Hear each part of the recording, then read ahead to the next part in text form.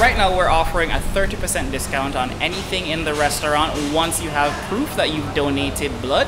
And we really did this in light of the recent uh, extreme deficit that the blood bank is facing. But as it's been very successful, we decided to offer this offer permanently because we want to continue the efforts. I've become a regular donor since a friend of mine needed blood. Um, and I went, I was due for donation around March, and when I went in, obviously it was basically nobody there.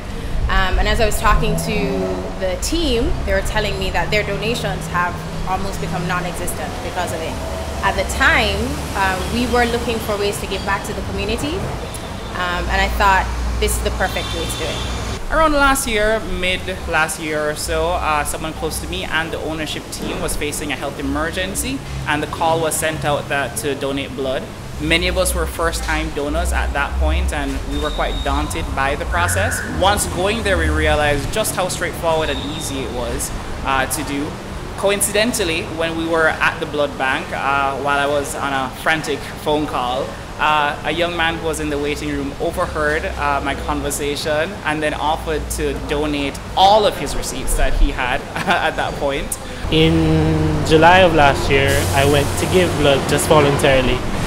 And I gave and was sitting, resting with a friend of mine from my club, my Rotaract club. And in comes in a group of people and everybody's frantic. The bank is about to close. Some of them were first-time donors. They were unable to give because of you know underlying conditions or they didn't eat and whatever. So if they had left, it would have been too late to come back to give. So at that split second, uh, you know, you're sitting in a, you're sitting in an area and there's small talk.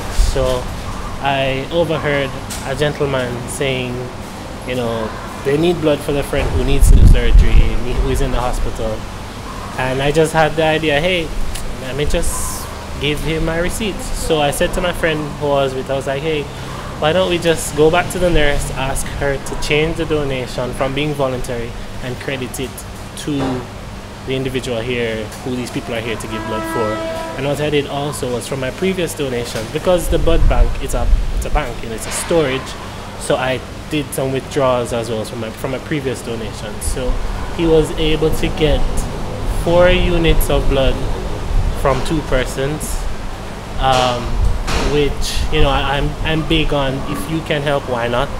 So that just that little split second, and now I'm here, an, an employee of Chilitos JaMexican. So it's been it's been an interesting journey. The response from the customers has been amazing. They're all very supportive. They're like, "Great job! Um, how can we get involved?" We would like to see more people. We've only had a few so far, but as we go on and as more people get more information and as we actually include more of our community, um, one of the people who we did reach out to and who was absolutely gracious to help was Yanni Creed, who's a photographer protege and also a content creator. And we reached out to him, we asked him to do a video showing how safe and easy it is to give a donation, and he did. Um, and it was amazing. You can watch it on our social media. And I think once people see it, they'll get more involved. But for right now, everyone's really excited and everyone is hoping to help. Blood is said to have a shelf life of 35 days, but the demand is so high here in Jamaica, so we never make it to 35 days, so the blood doesn't go bad.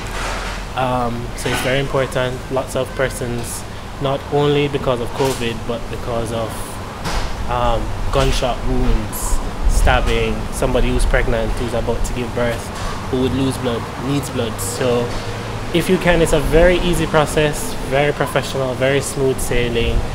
Um, if you do go, bear in mind the COVID precautions, wear your mask, have your hand sanitizers, as well as ensure that you eat a proper meal at least three hours before you go um, ensure that your weight is 110 or more, and that if you are 17 years or older, you can go without the permission of your parents. If you are under 17, you just need a written permission from your parents to go and give. Uh, as I say, it's a very simple process, so just go for it and remember that one unit can save up to three lives.